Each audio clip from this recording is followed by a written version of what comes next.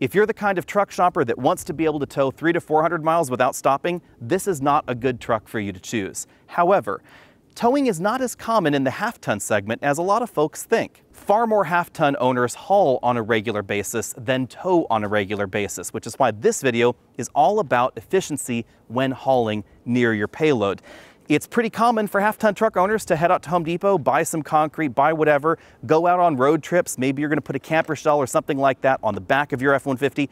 Maybe we'll try that in a later video, but in this video, we're just gonna talk about how cargo affects range. So clearly the first thing we need to do is head out to Home Depot and fill the bed. Thankfully, this truck has the onboard scales set up, so I'll be able to know exactly how much weight I'm putting in the truck. All right, here we are at Lowe's. I have 24 bags of potting soil, 120 pounds of salt, and an umbrella. Hey, why not? Let's go see how this works in the Lightning. We're just gonna load it up, and I'm gonna put the salt in the front trunk because Ford says you can put up to 400 pounds up there. Let's find out how that works.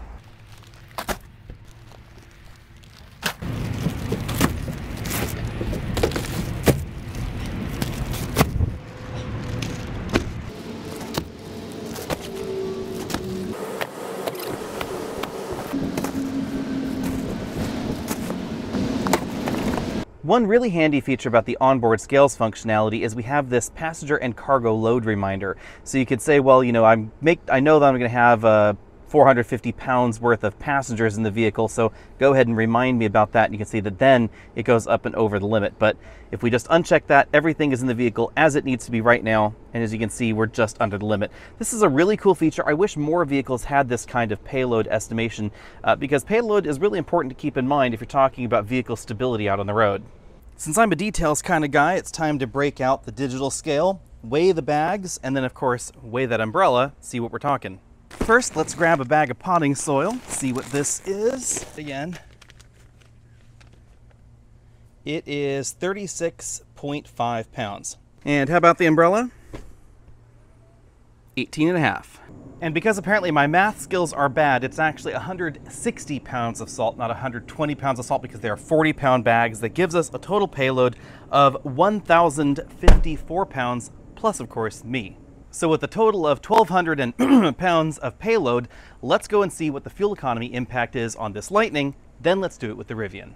I decided to reshoot this part of this video in the studio because it got really long-winded out there in the parking lot with the trucks, and instead, let's just get to the numbers. I used a 60-mile test loop on both of these trucks, average speed of 69 miles an hour, and both trucks were allowed to be on with the air conditioning running to cool down the cabin and allow the truck to precondition the battery. Whether it wanted to cool it or heat it, we let it do its thing for 20 minutes on both of these trucks. We then completed the loop with the trucks full and with the trucks empty, so that way we could see the difference here.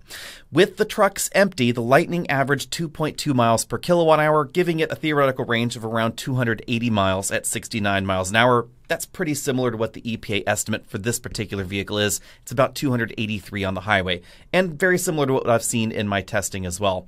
Rivian, pretty similar to testing as well. It got 2.5 miles per kilowatt hour, so about 320 miles of range or so at 69 miles an hour on this test loop.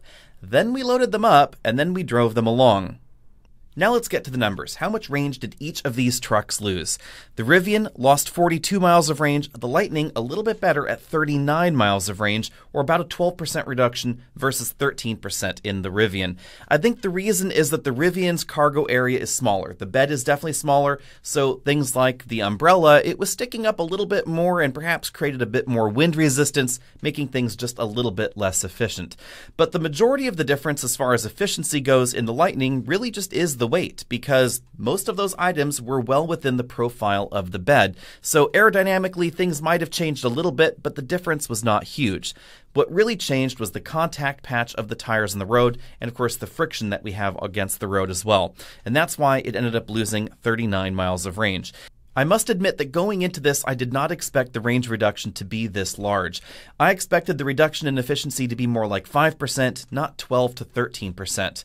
On the other hand, if I was driving a V8 powered gasoline pickup truck and I was only getting 14 to 16 miles per gallon, I might not even notice a 10% reduction in range because that would be a fairly small reduction. It might just be a rounding error, and I would care about it a little bit less than in an electric truck. For some folks out there that want to do A to B style road trips, you want to go 400, 500 miles, This will mean a little bit of extra time on a DC fast charger if you have your truck fully loaded. How much longer? That's going to depend on where in the battery state of charge range you're doing your DC fast charging. But if you pull into a station at 10%, it's only going to mean a few extra minutes at that DC fast charge station to recover the 39 to 45 miles of range that you might be losing.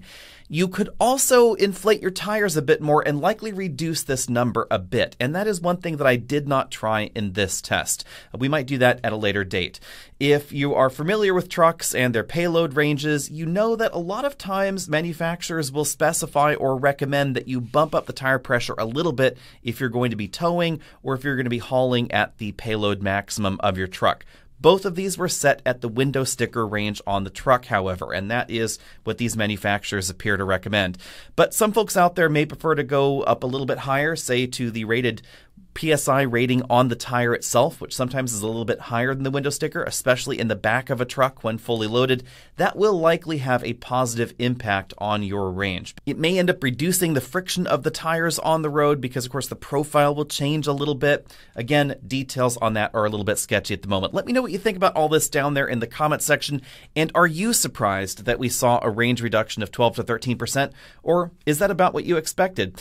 Let me know if you've had any similar experience in your Lightning Lightning or your R1T, just pop those comments down there in the comment section below and stay tuned because we have a number of different videos coming up soon. See all of you later.